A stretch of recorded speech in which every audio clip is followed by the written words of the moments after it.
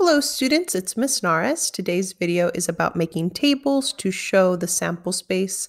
It's a little bit more organized than just making a list. The first example says a pair of black or white Converse are available in sizes 7, 8, or 9. Make a table to show the sample space. Made a super simple table. I'll put the color options along the top and the size options along the side.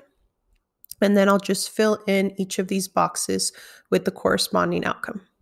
So for this box, well, it's in the black column and this row seven. So I'll write B7 for black Converse size seven. Then we have black Converse size eight and black Converse size nine. Pause the video and think about what I'm going to write in the next column. Hopefully you said white 7, white 8, and white 9 just to make sure you understand how to read it, how many outcomes are there? Well, there's one, two, three, four, five, six different combinations for the shoes. There are six outcomes. I'm not counting the top or the sides. And then the second question is how many outcomes with a size 8 or a 9? So in these six different combinations, how many of them show size 8 or sh- size, show size 9? Well, there's four of them. These four are either a size 8 or a size 9. Let's do one more example. Example 2 says, What are all the possibilities for a two person rock, paper, scissors game? If you played 20 games, how many would you expect to end in a tie? Well, when I play rock, paper, scissors, I have to choose rock, paper, scissors, and my opponent chooses rock, paper, scissors. So that's two actions. So here's my table.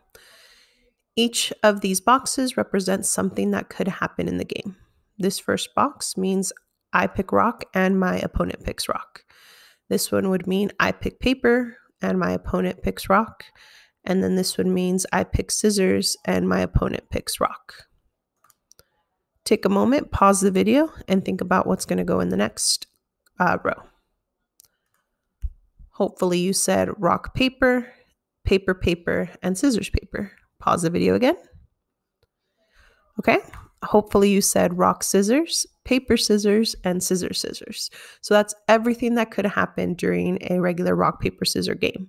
There are one, two, three, four, five, six, seven, eight, nine different possibilities, nine possible outcomes. Now, if I play 20 games, how many of them end up in a tie is the other question. I'm going to go through and I'm going to circle all of the ties.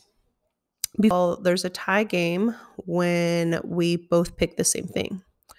So I have these three out of nine. I can simplify that fraction by threes and I get one third. A third of the games should end up being ties. And since I'm playing 20 games, I'll multiply 20 times one third, pause the video, do the math. I get 20 over 3, which is improper. So I'll use some division and I get 6.666 repeated. So about seven of the games should end up being a tie if I play 20 games. Now, if you want to have some fun and there's someone around, maybe go play 20 games with that person and see if you do get seven of them in a tie or more or less. Talk to you later. Bye.